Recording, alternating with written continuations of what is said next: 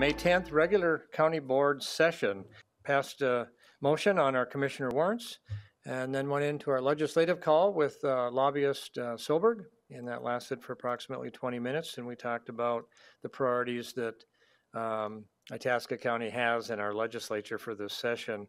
We reappointed our county engineer and uh, Karen Grandia, and that has to happen officially every four years by statute. We approved a, um, an MOU to an existing contract that dealt with post-healthcare savings plan. We had an update on county-based purchasing, IMCare.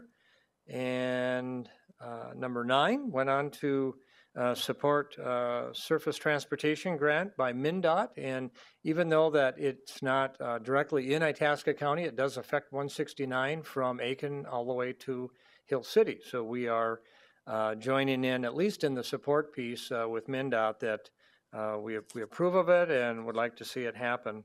Number 10, we uh, approved a schedule. What uh, the purpose is, is we approved a schedule to go to each of our county facilities, all of our county garages, the, the facilities owned by the sheriff and, and our land department, and to take tours, see the employees, and, uh, you know, make, take down recommendations that might be there in terms of what we may need to see uh, as far as what needs to be fixed or what's going well. So uh, that schedule is public. It's po- posted as a public meeting, uh, and that can be found uh, after today's meeting now on our county website.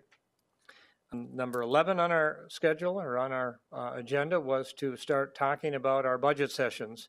And again, those are public meetings, so those are meetings that we, we would schedule and post because all commissioners would be there, plus all of our department heads.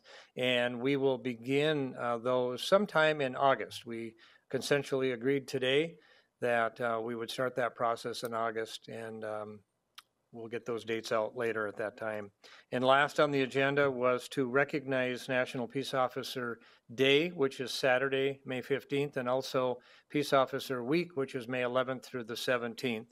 And the purpose is to give special recognition to those fallen officers that um, have protected and served our, our communities and our county um, 24/7, and we much appreciate their service. So we recommend or recognized nine officers uh, that have been fallen, have fallen in the line of duty in Itasca County. Uh, we took some uh, very brief uh, commissioner comments. There was no closed session, so we adjourned the meeting at 3:29. Thank you and have a great rest of the week.